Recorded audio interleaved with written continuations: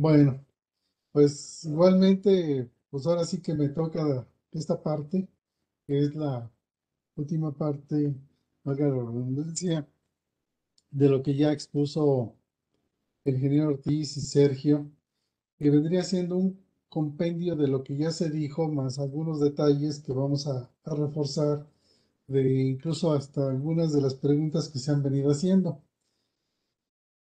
Y pues sí, agradecer también al SINAPROC y SENAPRED y Enrique por la invitación y ahora sí que estar aquí con todos ustedes. Pues vamos a, a continuar y platicar, ¿verdad?, sobre cómo es que se generaron y se revisaron estos listados. Y vamos a hablar un poco sobre su uso, cómo es que debemos usarlos, aunque ya se ha hablado mucho de esto. Pero no podemos así entrar de lleno si antes pues no vemos algunos antecedentes, como es el caso de pues, todos los listados de sustancias químicas que existen. Y no son todos, yo no, voy no voy a ver todos, sino simplemente algunos que son muy relevantes. Y tenemos en este caso, por ejemplo, la norma 10, que nos habla sobre los agentes químicos contaminantes del ambiente laboral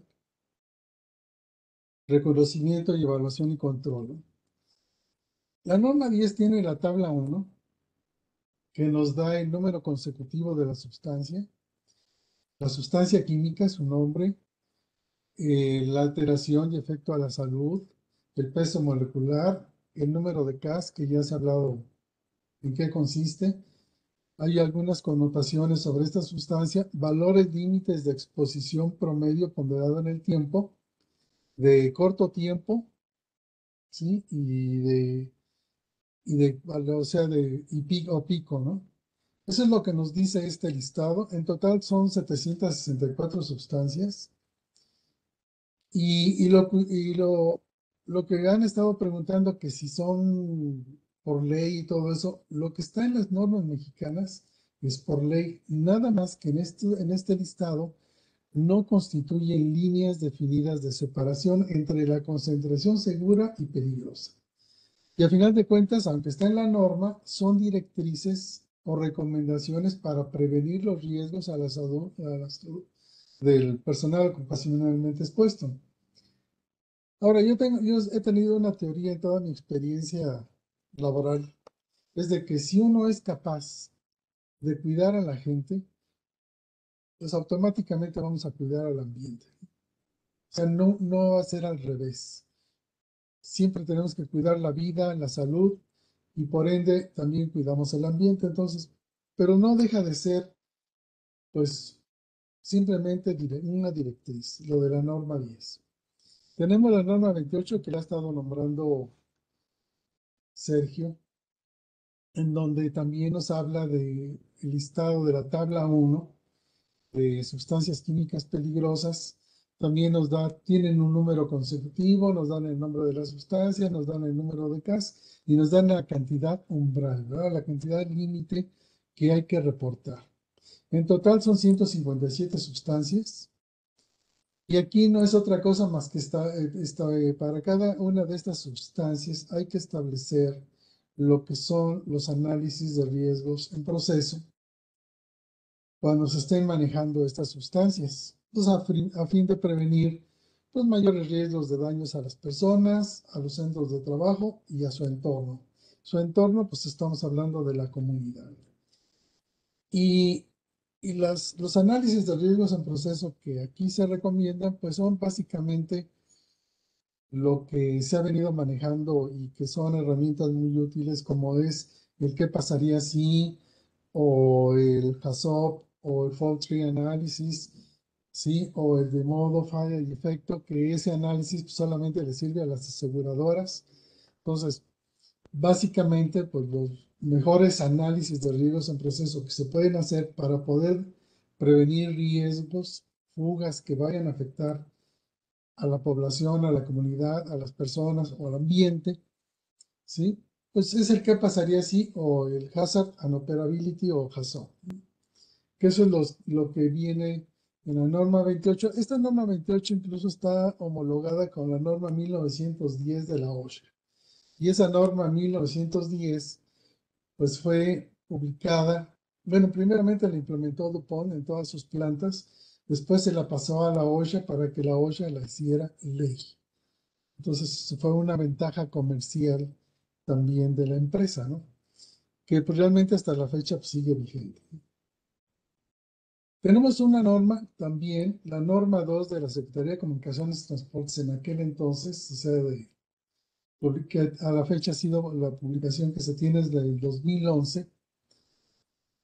Y aquí lo más relevante de esta tabla es la tabla 2, que contiene 11 columnas.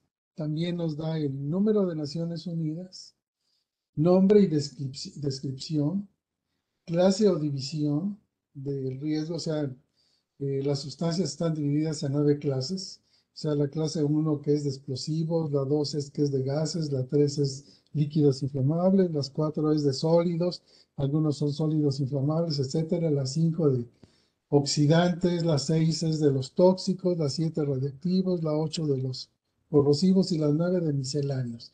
Son las nueve clasificaciones. Sin embargo, lo más relevante de esta tabla es que también nos da el riesgo secundario, porque vamos a tener, por ejemplo, sustancias tóxicas que son inflamables o que son corrosivas, ¿sí? Entonces, y eso es bien importante, es bien relevante entender que hay sustancias que tienen dos riesgos, incluso raramente vamos a tener tres riesgos, pero sí existen. Y también nos da su grupo de envase y embalaje, que eso lo clasifica la ONU. La ONU nos da ese, esos términos, es grupo 1, grupo 2 o grupo 3. Claro, el grupo 1 es el de mayor riesgo, pero no quiere decir que el grupo 3 sea de menor riesgo, sigue siendo peligroso. Y nos dan algunas disposiciones especiales de, la, de qué se debe de considerar para cada sustancia, cantidades limitadas, son dos columnas, envases y embalajes y recipientes integrados, recipientes intermedios a granel, en donde también se manejan las sustancias, son dos columnas, cisternas portátiles, contenedores para graneles, dos columnas, ¿sí? Estamos hablando de alrededor de 2.900 sustancias referidas en seis tablas para su consulta con base a riesgo que se están analizando. Aquí sí quiero hacer enfático, esto sí es ley. Sí se tiene que cumplir principalmente para el transporte terrestre de materiales peligrosos. Y está homologado, pues también, pues cuando se embarcan por vía terrestre, tanto Estados Unidos o Sudamérica, pues es la misma normatividad, ¿sí? Bien, Ahora no les muestro pues, las tablas y todas porque pues, realmente por el tiempo pues, nos comeríamos más, ¿verdad? De lo que estamos ahorita hablando. Por otro lado, teníamos la guía de respuesta a emergencias, que también tiene aproximadamente 2.900 sustancias. Está muy homologada o prácticamente una, una, la norma 2 con esta, la guía de respuesta a emergencias se compagina, pero son 2.900 sustancias con las cuales se van a poder atender emergencias con 62 guías que tienen. Estas guías pues tienen su número de Naciones Unidas, ahora ya le cambiaron su NIP, número guía, nombre del material que es el nombre del embarque que muchas veces coincide con el de la norma 2 de la Secretaría, bueno, ahora es de Infraestructura, Comunicaciones y Transportes. Y esta, esta guía pues debe ser utilizado, puede ser utilizada por bomberos, policías y otros servicios de emergencia, quienes pueden ser los primeros en llegar a un lugar de incidente en el transporte de materiales peligrosos. Y puede tener una aplicación. Ahora, esto es importante. Esto tiene una aplicación limitada en instalaciones fijas, estamos hablando de plantas, o a bordo de aviones o barcos, ya que la IATA o la IMO o la International Maritime Organization maneja, pues ahora sí que las mismas clasificaciones Las mismas guías son mucho más estrictos. Son bastante más estrictos que el transporte terrestre. Y claro, el personal de respuesta a emergencias en un escenario con materiales peligrosos, fíjense, esto es también relevante, no debe confiar únicamente en esta guía. Yo sí estoy convencido de que esta guía, los primeros 20 minutos o 30 minutos para un bombero o un policía o los primeros respondientes al lugar de emergencia, si utilizan lo que dice la guía y hacen lo que dice ahí, pueden salvar muchas vidas. Y este ejemplo fue clásico en el caso del accidente de que ya se ha hablado y ya se mencionó del camión que transportaba 25 toneladas de ANFO en nadadores. Si los primeros que llegaron hubieran visto la guía, hubieran tenido la oportunidad de haber evacuado a todo el personal, todos los curiosos que había ahí, incluyendo ellos mismos. Aquí algo curioso es que el chofer y el ayudante del, camión, cuando estaba ya el incendio, tuvieron la oportunidad de correr solamente para un lado, parar el tráfico y evacuar a la gente. Pero del otro lado, cuando llegaron los que iban a responder la emergencia, pues simplemente llegaron, se quedaron lo más cerca y estaban viendo el espectáculo del incendio, pero nadie tenía conocimiento de esta guía o nadie la llevaba. Y obviamente cuando explota, mucha gente de esas, pues hay, hay, una fotografía, ¿no? Que la gente que está en la fotografía, pues dejó de existir, ¿no? Es muy, muy trágico, ¿no? Esto, ¿no? Pero con respecto a que los primeros 30 minutos es más, el incendio fue el tiempo que duró más o menos unos 30 minutos, porque fue el, tanque de diésel de la tractocamión que estaba quemando la, abajo de la, del tráiler con las 25 toneladas de ANFO y, tuvieron tiempo suficiente para haber evacuado.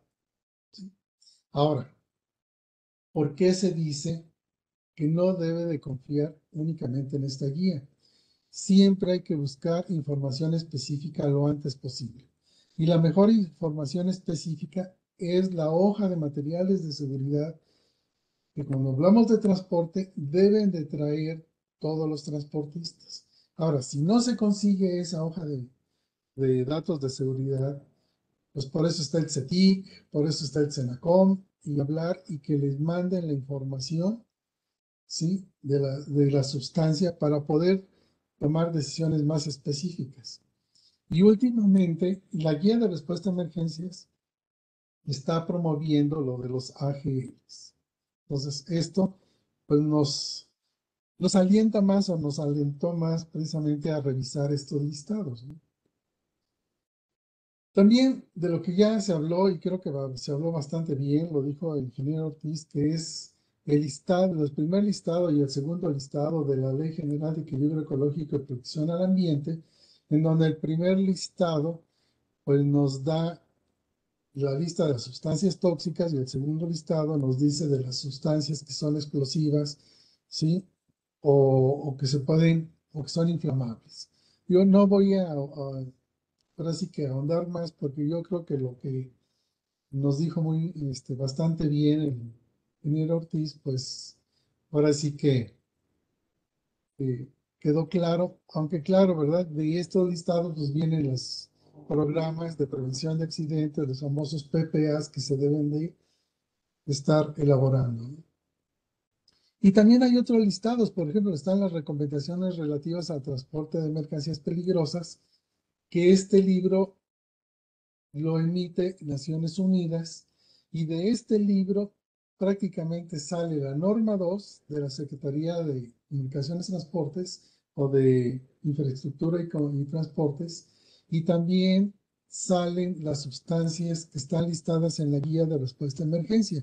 Prácticamente digamos que este es el, el listado básico, pero es realmente un reglamento, el volumen 1, ¿sí? incluso lo pueden bajar de internet, yo tengo la del 2019, Y luego también hay otros listados, ¿no? Del que ya se mencionaron, ya habló Sergio de la American Conference of Governmental Industrial Hygienists, que es los ACGIs, que nos dicen los TLBs, los índices biológicos de exposición para todas las sustancias químicas y agentes físicos. Y también están los que ya nos mencionaba también este, el ingeniero eh, Enrique Ortiz sobre Ranayos, que también lo decía Sergio. También ahí viene pues una lista de sustancias que nos dicen el nombre químico, la fórmula, el CAS, el registro de efectos tóxicos, número del DOT, que es el mismo número de Naciones Unidas, eh, sinónimos, límites de exposición, TWA, IDLH, descripción física propiedades físicas, incompatibilidad y reactividad, el equipo de protección personal que hay que utilizar, otros, etcétera, ¿no? O sea, son list y hay más, hay otros más listados, nada más que ahorita yo estoy mencionando estos, digamos, como para tener una base de lo que ya se dijo por parte del ingeniero Ortiz y por, por parte de Sergio, y seguir en, el mismo contexto.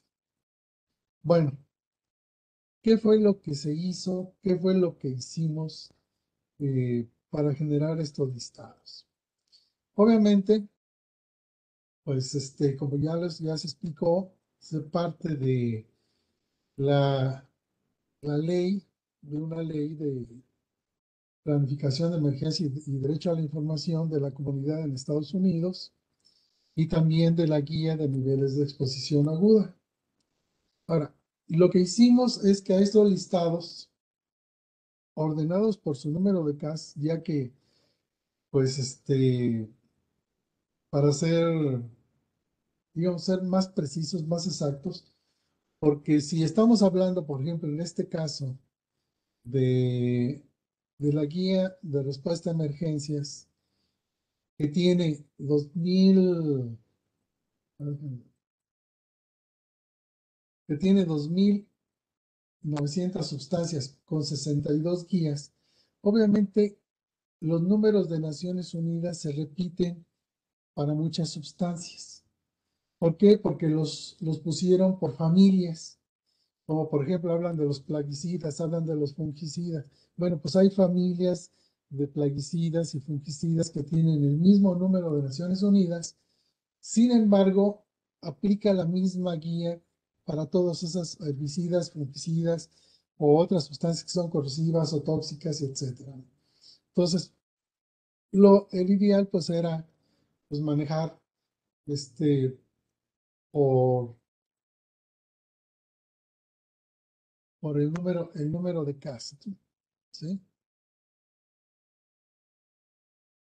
Sin embargo, o sea, como, entonces ya teniendo en Excel porque Sergio ahora sí que me pasó una lista con todas las sustancias, con su número de CAS, y entonces empezamos a revisar el número de Naciones Unidas para cada sustancia, porque el nombre de la Secretaría de Infraestructura y Comunicaciones y Transportes, junto con la guía de respuesta de emergencias en español, este nombre de la sustancia es la designación oficial para el transporte, esto sí es ley, los nombres de la Semarnat, que es el nombre químico de la sustancia en español, que también manejan nombres en inglés, ¿sí?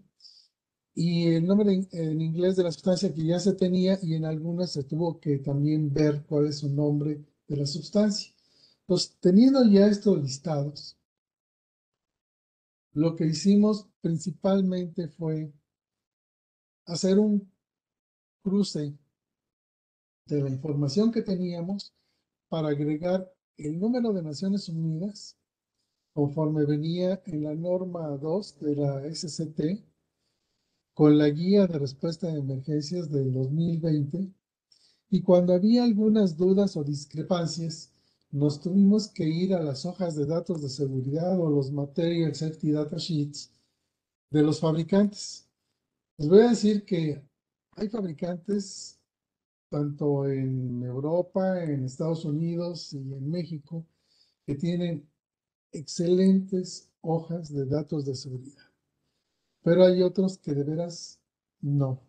Nomás batalla uno mucho, ¿no? Que eso fue lo que nos consumió mucho tiempo, ¿sí? Bueno. Entonces tuvimos, se tuvo que, que estar revisando, incluso cuando ya no encontrábamos información que nos convenciera de la norma 2, de la guía de respuesta a emergencias, de las hojas de datos de seguridad, nos fuimos también a la información contenida en el listado de la Cameo Chemicals, que aunque tienen también algunas inconsistencias, sí nos pudimos apoyar bastante con lo, la información que viene en el listado de Cameo Chemicals. Entonces ya sí pudimos nosotros de alguna manera este, decir que lo que está en los listados que se les van a dar de EPCRA y AGLs, pues yo en cuanto a que van a coincidir con otros listados y otras hojas de datos de seguridad, pues yo le daría una confiabilidad pues, arriba del 95%. Y no, por nada, no porque hayamos hecho ese trabajo, pero nos costó bastante tiempo y dedicación estar revisando sustancia por sustancia su número de Naciones Unidas, su nombre, su nombre en inglés, su nombre en español, ¿sí? Y obviamente, pues los AGLs que allá venían, que todavía, pues este, ingeniero Sergio ha estado haciendo algunos ajustes y ha estado este, todavía afinando, ¿verdad? los listados. Bueno, ya con toda esta información, pues ahora sí nos iríamos y ahora sí tratando yo de ser un poco corto en el tiempo, ¿sí? Sobre el uso de estos listados. Antes sí quiero yo este, mencionar que este listado de, es, es una ley que surge en 1986 por las preocupaciones que tuvieron en Estados Unidos con los riesgos ambientales y de seguridad planteados por el almacenamiento y manejo de productos químicos tóxicos. Y la principal causa fue el desastre de 1984 en Bhopal, India, causado por la liberación accidental de metilisocianato que liberó y mató e hirió gravemente, pues ahora sí que a más de, más de 2.000 personas. Sergio nos hablaba ya cerca de 3.000 personas. Entonces, a raíz de lo de Bhopal, en Estados Unidos, pues decidieron, este, por estas preocupaciones, emitir esta ley. Y esta ley, pues lo que realmente nos obliga, digamos, o obliga en Estados Unidos es el derecho a la información, que no es otra cosa más que aumentar el conocimiento público y el acceso sobre eh, a la información de aquellas sustancias, sobre el uso y la liberación de sustancias en instalaciones industriales. Mi experiencia en el país o en México es que todavía sigue siendo un tabú en muchas empresas.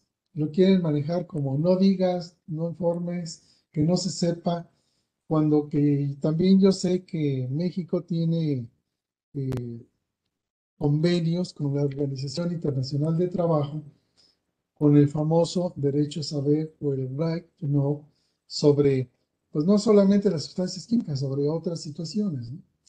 Entonces, esta ley establece requisitos para los gobiernos eh, en Estados Unidos, obviamente, federales, estatales y locales, en instalaciones industriales relacionadas precisamente para planificar las emergencias y la presentación de informes sobre productos químicos peligrosos y tóxicos, por el derecho a saber de la comunidad. Y por cierto, en este mes, ya que termina, según la ley, todas aquellas industrias que en Estados Unidos manejan sustancias químicas tóxicas ya deberían de haber presentado su informe anual actualizado. Algo parecido se hace aquí con la Ley General de Equilibrio Ecológico y Protección al Ambiente, que también tienen que estar reportando, ¿no? Aquí lo relevante pues, es que estados, municipios y comunidades colaboran, ¿verdad?, con la industria y pueden usar la información para mejorar la seguridad química y proteger la salud pública y el medio, ambiente. O sea, eso es lo que ahora se les obliga. ¿no? Y esta ley EPCA, o sea, tiene cinco, bueno, más bien cuatro, cuatro disposiciones. La primera es informar de la planeación de las emergencias y planes de respuesta a emergencias. O sea, eso así como que es obligatorio. Además, tienen que estar informando de las emisiones de emergencia, que yo entiendo que también la Semarnat tiene ese programa porque donde yo he estado operando en las, las plantas eh, o donde he, trabajado, pues si llega a haber emisiones se tiene que informar y tiene que cumplirse, estar dentro de los rangos que pues la misma ley nos, nos pide, ¿no? Tiene que haber informes e inventarios de sustancias químicas peligrosas y eso incluye no nada más lo que está en almacenamiento, sino lo que está en proceso. Inventario de emisiones de sustancias químicas tóxicas, que denominan el inventario de emisiones tóxicas, obviamente.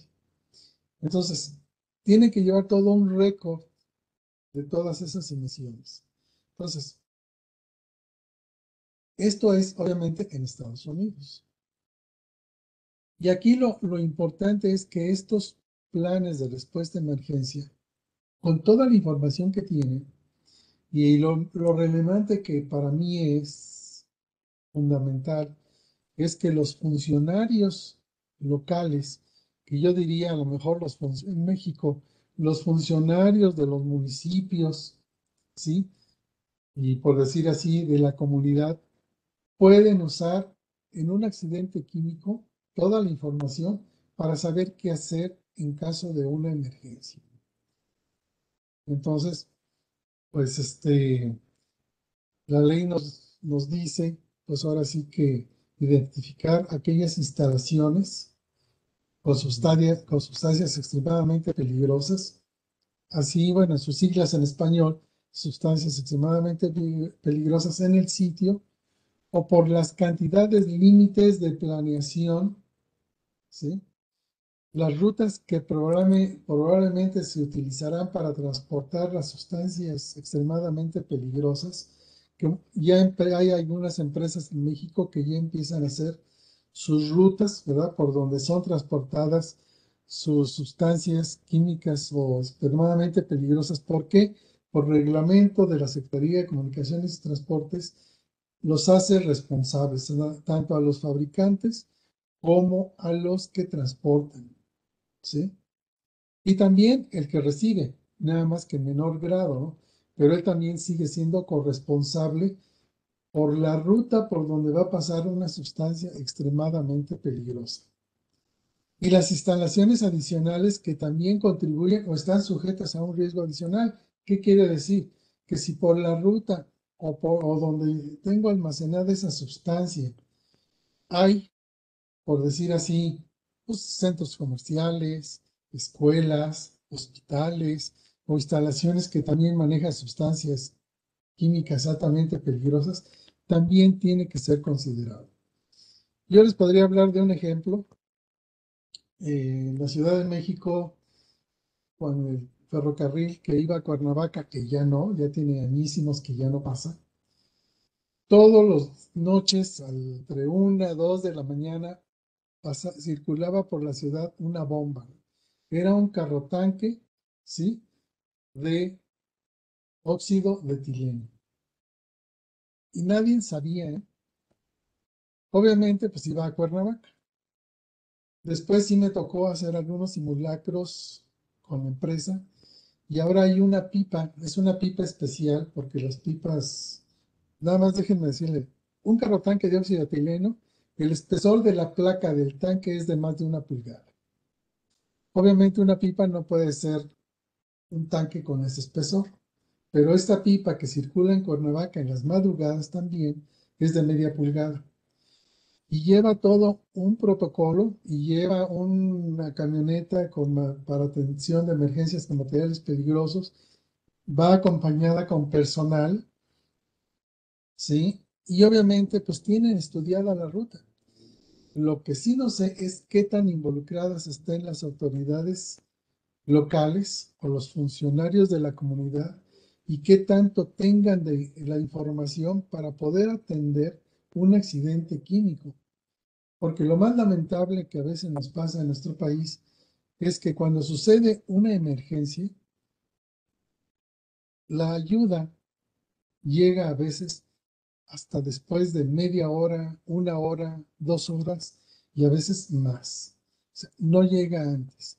La ayuda muchas veces se da por la misma industria, ¿sí?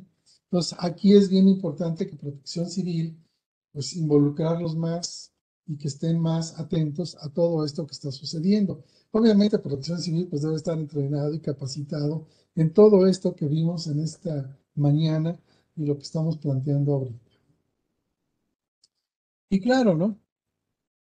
Esta ley nos pide describir procedimientos que deben de seguir tanto los operadores de las instalaciones, estamos hablando supervisores, operadores, este, etcétera, ¿sí? donde se manejan sustancias altamente peligrosas, personal médico, ¿sí? de emergencia local, para responder a cualquier fuga o emisión, hay que designar un coordinador de emergencias, ¿sí? De la comunidad, ¿sí? Y con el coordinador de emergencias de la planta o las instalaciones donde se maneje, ¿sí? La sustancia altamente peligrosa. Esbozar los procedimientos de información de la emergencia, ¿sí? Tener por lo menos, no me va a pasar un accidente, pero en el caso de que me pase, ¿qué voy a hacer? ¿Sí? y describir cómo determinar el área y la población probablemente afectada por las emisiones químicas, que esto ya nos lo explicó eh, ampliamente pues, el ingeniero Enrique y también el ingeniero Sergio con los sistemas de simulación que existen, que se tienen, con esas herramientas. También nos pide esta ley describir el equipo de emergencia local, las instalaciones y responsables de ellos. Y muchas veces buscamos responsables y no hay. Y debe de haber responsables. ¿Sí? Al menos en Estados Unidos yo creo que sí lo tienen. delinear planes de evacuación. Proporcionar un programa de capacitación para los que van a atender las emergencias y proporcionar métodos y cronogramas para ejercer planes de respuesta a emergencias.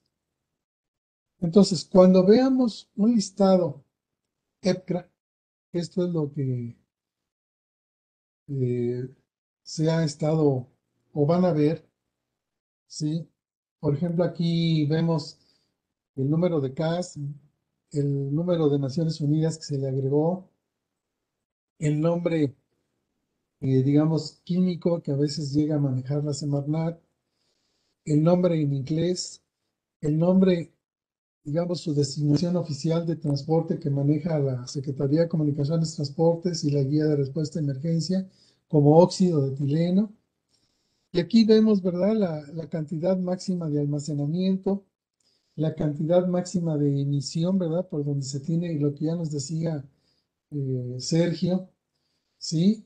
Y, y, y en caso de estar almacenando cantidades de 5.000 kilogramos de óxido de etileno, yo les digo, pues una pipa, un carro tanque que ahora circula por allá por Cuernavaca, tiene que haber un análisis de riesgos por la metodología que trae la norma 28, independientemente del PPA que nos pide la CEPAM. todo eso se tiene que hacer se tiene que revisar y se tiene que estar año con año, al menos las autoridades sí estar al pendientes de que eso se está cumpliendo. Y abajo pues estamos viendo los sinónimos, ¿verdad? Con los que podemos encontrar el nombre de las sustancias. ¿Por qué? Porque algunos fabricantes en Europa, en Estados Unidos, en Canadá, en Sudamérica, en Asia, manejan nombres distintos a los que maneja, por ejemplo, Naciones Unidas. Por ejemplo, alguien le dice, no, pues yo a mi producto le pongo el nombre de Oxane, pues, ¿qué es el Oxane? Pues, no sé, o Oxirene, ¿sí? o el T-gas, bueno, pues es el T-gas, pero, o sea, cuando que, pues ahora con esta ley EPCRA nos obliga precisamente a informar a la comunidad. Entonces, pues tenemos esta, esta parte del, del óxido de etileno y, por ejemplo, ¿verdad? Este, el listado número uno de la Ley General de Equilibrio Ecológico y Protección al Ambiente nos dice en su listado, o sea, capítulo tercero, cantidad de reporte a partir de 100 kilogramos, que es, tiene el óxido de etileno, o sea, a partir de 100 kilogramos. Aquí estamos hablando, en la EPCRA, estamos hablando cantidad máxima de almacenamiento, por eso es muy importante, ¿no? ¿Sí? Lo, que dice una ley y lo que nos está diciendo la EPCRA. ¿Sí? Estamos hablando de 500 kilogramos y si, están, y si hay 5000 kilogramos, pues de todas maneras no te salvas de hacer tu análisis de riesgos en proceso. Y claro, si vemos en el inciso B de esta ley, pues hay un listado también de sustancias en, este, estado líquido, ¿sí? porque las más peligrosas son estado gas, pero también está en estado líquido, ¿sí? y pues algunas conocidas, ácido nítrico o el acrilonitrilo o el alcohol alílico o el óxido de propileno, ¿sí? O el este, difluoruro de boro, etcétera, ¿no? Y en estado sólido, que aunque pudiéramos decir que es menos riesgoso, pues está el ácido selenioso, ¿sí? O el óxido tálico, el yoduro de cianógeno. Entonces, que a lo mejor, si se transportan, se transportan en menores cantidades pero de todas maneras ahí está en este listado. Otro ejemplo, ¿verdad? De la ley EPCRA, pues está, por ejemplo, el, cloro de metil, que también es comúnmente transportado, tiene su número de CAS, su número de Naciones Unidas, si lo buscan en la, en la guía de respuesta a emergencias con el 1063, pues van a encontrar, a lo mejor a la familia que pertenece. Y aquí también nos habla, ¿verdad? Que a partir de los 5.000 kilogramos, pues hay que hacer un análisis de riesgos y también nos presenta algunos sinónimos. No nos habla de máximo cantidad máxima de almacenamiento máxima emisión. Sin embargo, si nos vamos a la ley, pues vamos a encontrar, ¿verdad? ¿Sí? Esos valores o cuando hagamos el análisis de riesgos también vamos a encontrar esos valores porque esta sustancia también la vamos a encontrar en los AGLs. ¿Sí? Y bueno, pues ya entrando a los AGLs, a, a la guía de niveles de exposición aguda, ¿sí? Yo aquí sí estoy marcando, estoy poniendo que estos límites representan, ¿sí? O sea, es después de una única y rara exposición ¿sí? a la comunidad. Y es, ya lo mencionó el ingeniero Enrique, lo mencionó Sergio, y es después de una única y rara exposición y aplicable a los periodos, a los periodos de desde 10 minutos hasta 8 horas con los valores de los AGLs que de los que ya se ha estado hablando, ya se ha estado mencionando. Y nada más así como un resumen de lo que ya se dijo, porque incluso esto ya viene explicado en la guía de respuesta a emergencias, que el AGL1, sus efectos son transitorios, no incapacitantes, irreversibles, sí, en el periodo de exposición. Sí, pero sin no hay que olvidar, y por eso Sergio decía que a veces es muy difícil eh, establecer criterios para los AGL1, pero no hay que olvidar es que es por una única sola exposición. Y posiblemente ahorita tratemos de dar una explicación que yo sé que no es fácil porque también este, tener estos criterios para los AGL1. Ya para los AGL2, ya digamos como que ya nos dan mayor luz en el sentido de que se podrá experimentar efectos duraderos, serios o irreversibles o ver impedida su capacidad para escapar. A mí me llama la atención este, este, este dato porque yo voy a hablar en, la, en general en la industria minera, pues yo todavía pertenezco a la Comisión de Seguridad y Higiene de la Cámara Minera de México, además de estar en el Senapred. Pero después de una voladura en una mina subterránea, se generan gases nitrosos y se genera una gran cantidad de dióxido de carbono, perdón, monóxido de carbono. Todos los mineros que entran tienen que entrenar con un detector de monóxido de carbono. Está calibrado, o de acuerdo con la norma oficial mexicana, a 25 partes por millón.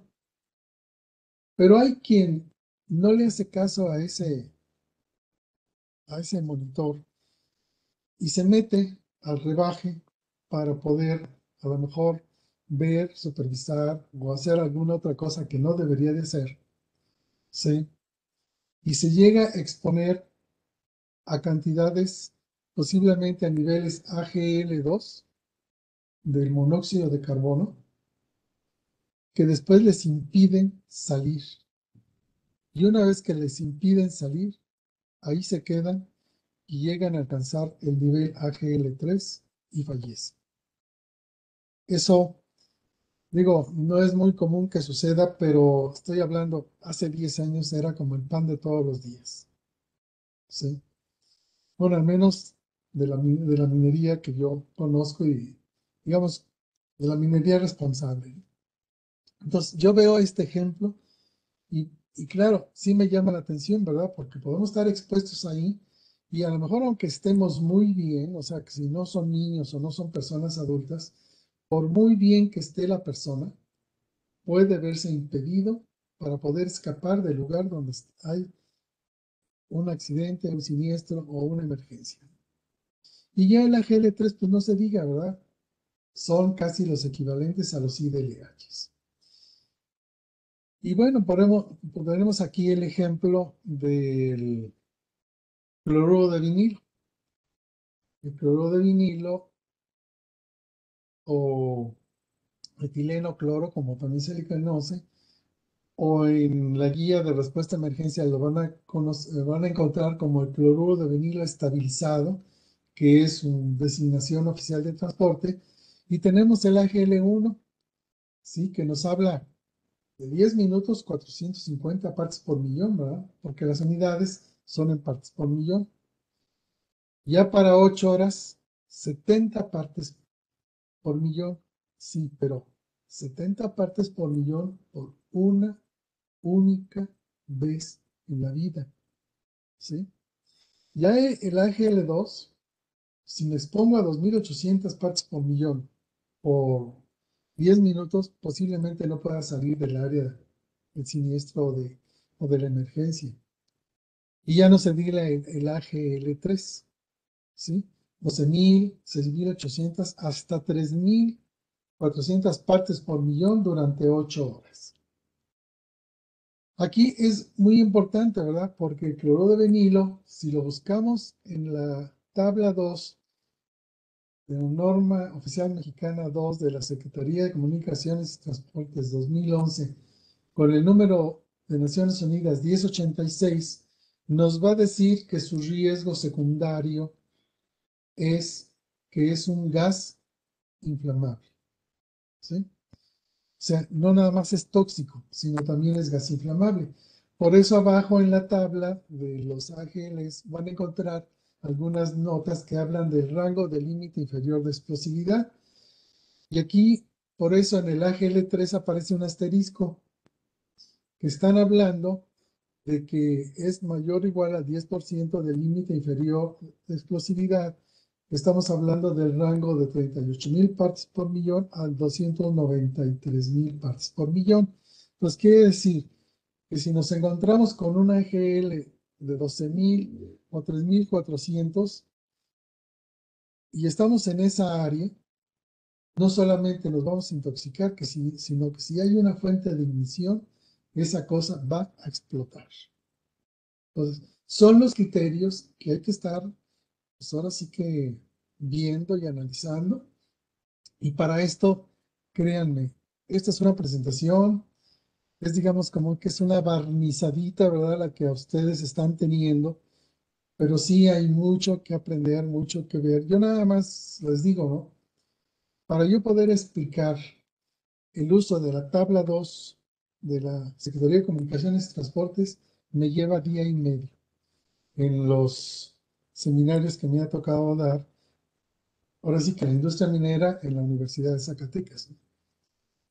Entonces, pero claro, el hecho de que ustedes ya tengan esta información, pues despierte su interés de poder ahondar más, e informarse más y leer más sobre lo que aquí se está, este, eh, bueno, se está dando.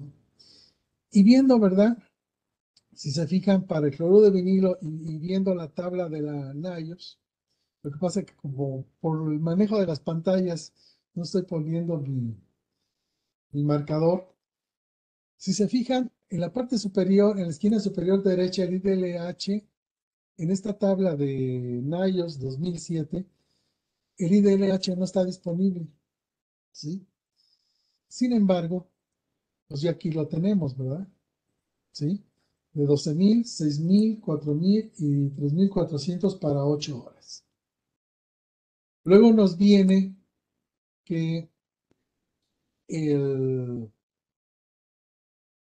el TWA, ¿sí? Es una parte por millón y eso es a lo que yo quería aclarar por lo que nos decía el ingeniero Sergio, que a veces es un poco difícil este, manejar los AGL1. El AGL1 es para una única y sola vez en la vida. Entonces, 8 horas son 70 partes por millón. Pero si queremos manejar desde el punto de vista industrial para los famosos POEs o personal ocupacionalmente expuesto, ¿sí? Es una parte por millón, quiere decir que son ocho horas, ¿sí?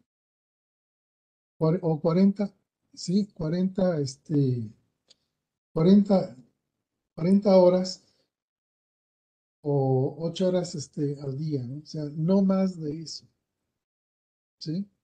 Porque eso es lo que nos maneja el TWA. Y luego nos trae otra serie de información, ¿no? Nos trae el peso molecular, el punto de, sí, de, emisión, nos trae este, eh, aquí viene el límite superior de explosividad, que es 33%. Claro, todo está en inglés, ¿no?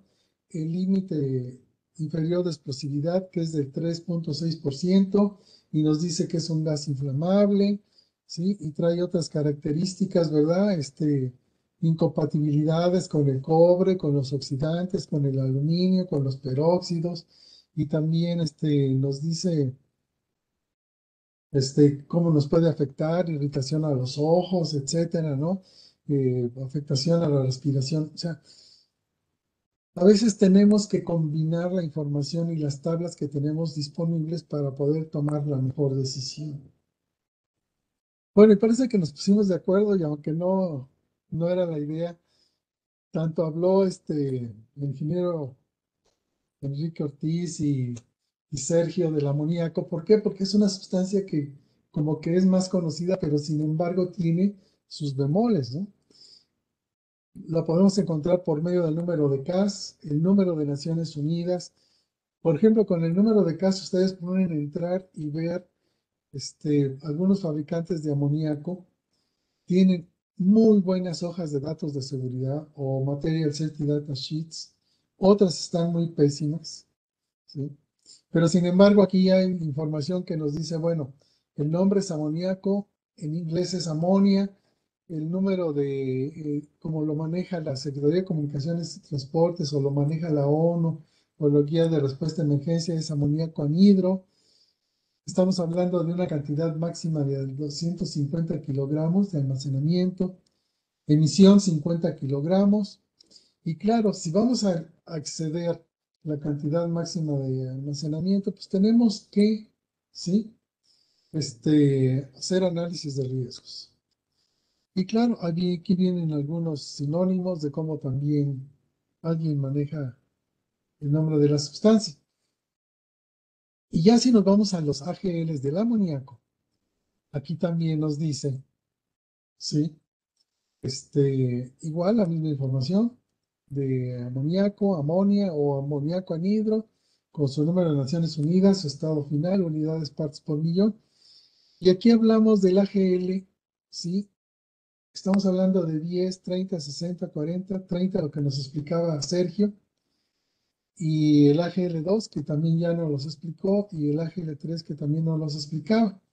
¿Sí?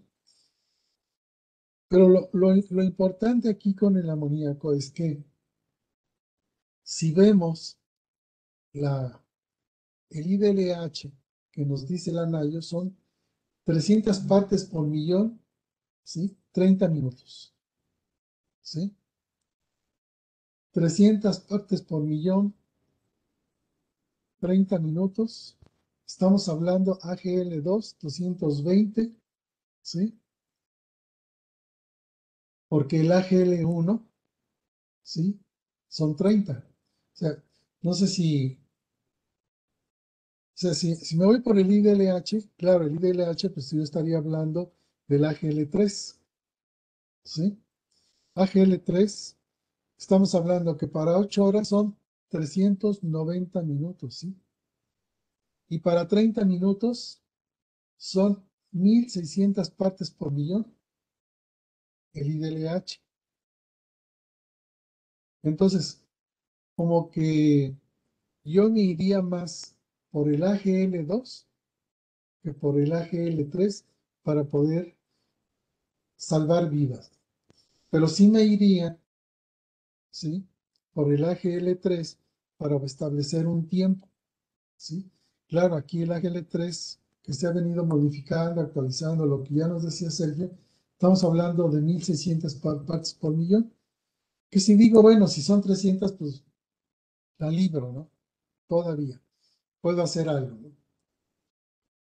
Pero para el AGL1 estamos hablando de 25 partes por millón, ¿sí? O el TWA, ¿sí? Y estamos hablando que son 8 horas, pero nada más por una única vez en la vida, ¿sí?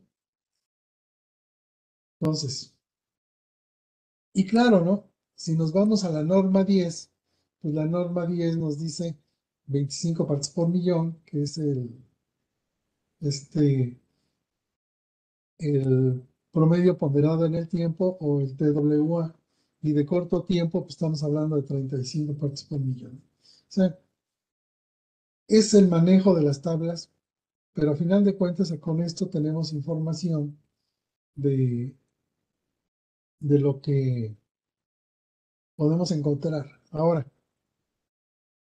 si se fijan abajo, el amoníaco tiene un límite superior de explosividad del 28% y el límite, o sea, el famoso LEL, LEL del 15%. Y abajo hay una nota que está en inglés que nos dice, pocas palabras, que el amoníaco no está definido como un material o gas inflamable. ¿Por qué? Porque la, digamos, el NFPA, que también es una guía y que es la que clasifica y después la OSHA y los demás organismos toman, a disculpen.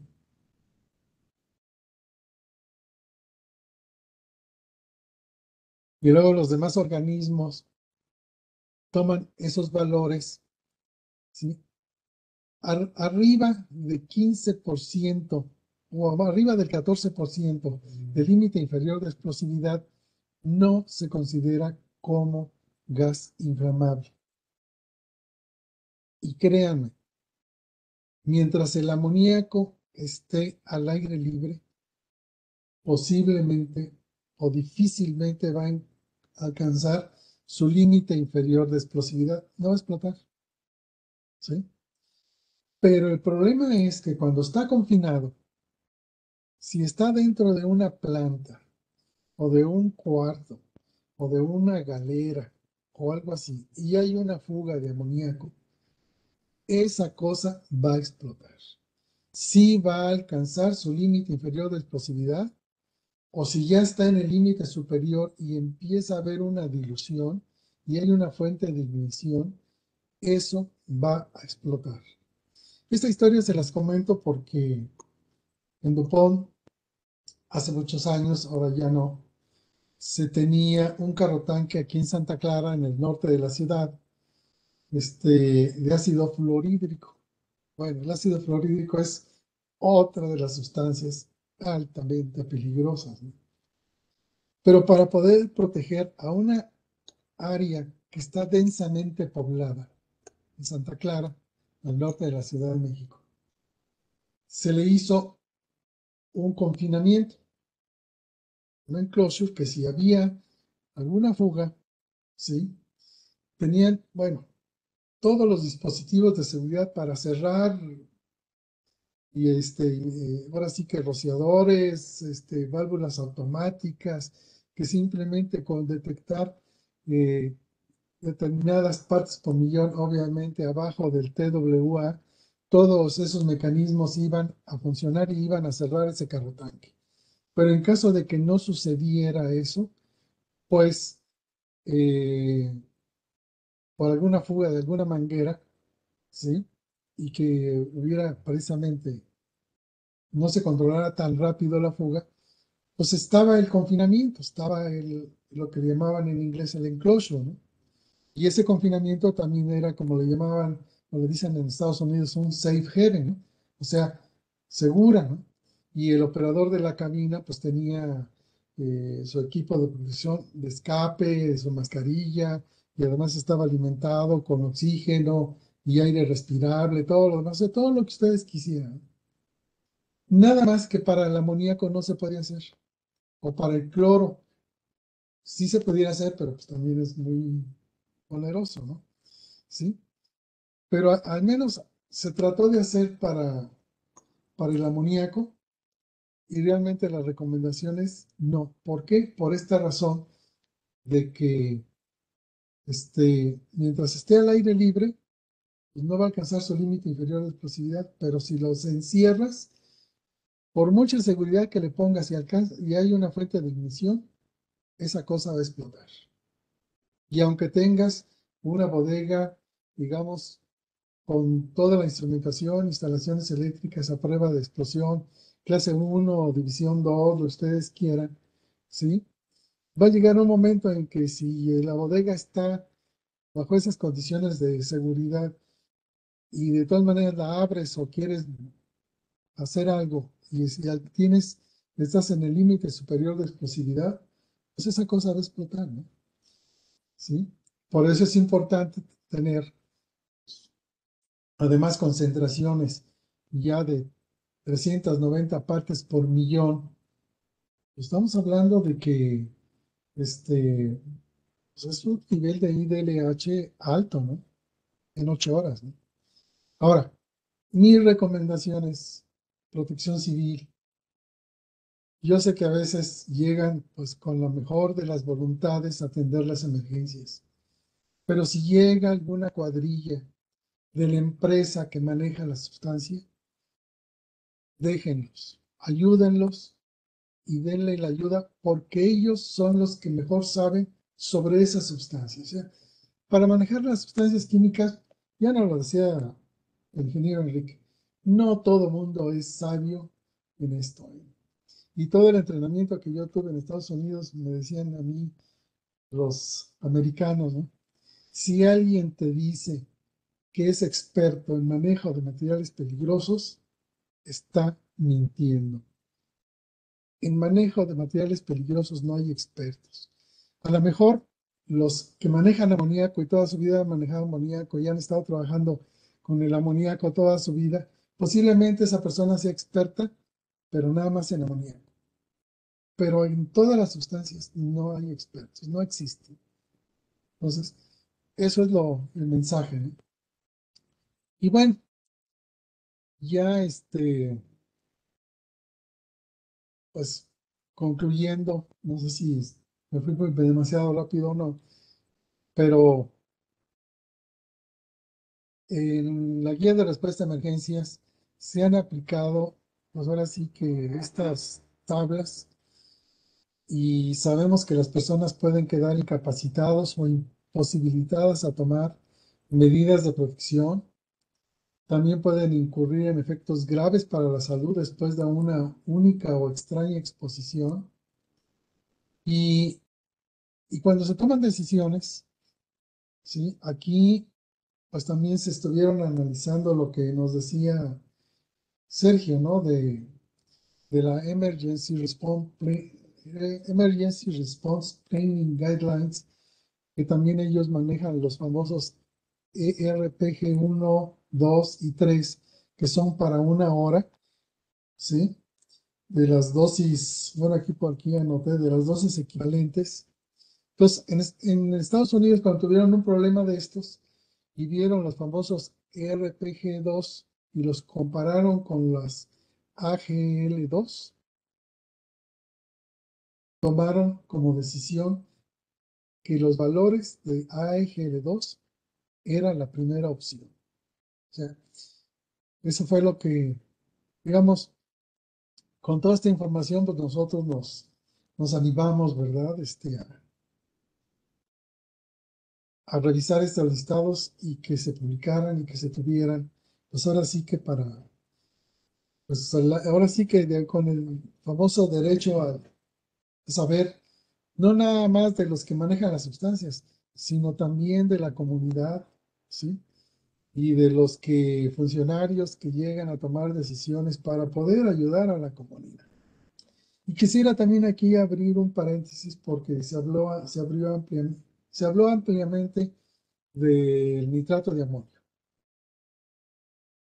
Si nos vamos a la tabla 2 o a la guía de respuesta a emergencias o, al, o a lo que nos dice Naciones Unidas, el nitrato de amonio no es una sustancia explosiva. No explota. Cuando se maneja bien, ¿sí? Y se tiene ahora sí que eh, conocimiento profundo de lo que es el nitrato de amonio. Yo hace algunos años todavía conservo por ahí un panfleto de la NFPA de la segunda mitad de la década de los setentas. En ese panfleto decía que si se almacenaba nitrato de amonio, aunque no estuviera en contacto con cualquier material orgánico, esa cantidad de nitrato de amonio se debería considerar como un explosivo al 50% equivalente en TNT. ya desde entonces se sabía que si tú tenías, y esto lo comento por el video que nos pasó Enrique Ortiz, de, del nitrato de amonio que tenían en esa bodega almacenado junto con, sus, con sustancias con, este, combustibles o material orgánico. Entonces, ahí ya no tenía nitrato de amonio, eso ya era un explosivo. Y lo que sucedió en, en Beirut, pues también eso ya no era nitrato de amonio, ya era un explosivo. O sea, pues nada más para información, porque tampoco me gusta ponerle en mi semblanza, pues mi primer trabajo fue ser supervisor del área de nitroglicerina en Dinamita Durango, en Dupont, porque DuPont se le conoce como la fabricante de pinturas, no como fabricante de explosivos, solamente se le conoce en la industria minera a DuPont, que ahora ya se retiró de la, de la manufactura de explosivos, pero sí me tocó incluso modificar muchas formulaciones de los hidrogeles llamados TOBEX, un trabajo que yo hice, ¿sí? de laboratorio y de campo, y, y manejar Ahora sí que el nitrato de amonio, pues hay muchas modalidades, fabricación de emulsiones, etc. Y para fabricar un ANFO, que el ANFO pues no son más que las, es un acrónimo de las siglas en inglés de Ammonium Nitrate Fuel Oil, ¿sí? No se necesita, y a lo mejor está mal que se los diga, no se necesita gran cantidad de, de material combustible para mezclarlo con el nitrato de amonio y formar un explosivo. Lo que sí sé es que para que alguien compre nitrato de amonio, al menos hasta el día de hoy, ¿sí? Porque la industria minera sí lo compra. y fabricar ANFO en las minas de tapo abierto, ¿sí? O los que fabrican emulsiones en las plantas que existen en, México, ¿sí? Nadie debe de vender nitrato de amonio si no es con la autorización y control de la sede. ¿sí? Y si ustedes van y buscan sin saber eso, y pues ahora sí como que para qué, para qué lo quieres, ¿no? ¿Por qué? Por aquello del terrorismo. ¿Sí? Porque sí, desafortunadamente, es bien sencillo fabricar un explosivo, ¿sí? Con el nitrato de amonio. Pero si se maneja bien y está solo y no se combina con ningún material orgánico, el nitrato de amonio es nitrato de amonio nada más. No se puede clasificar como explosivo. Entonces, hecho este paréntesis, pues este